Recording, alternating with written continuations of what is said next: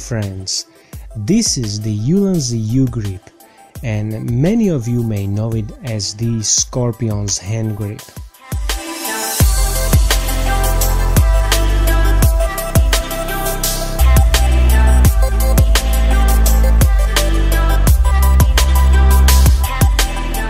It is a original professional grade stabilizing action grip that allows you to hold your camera down low when filming.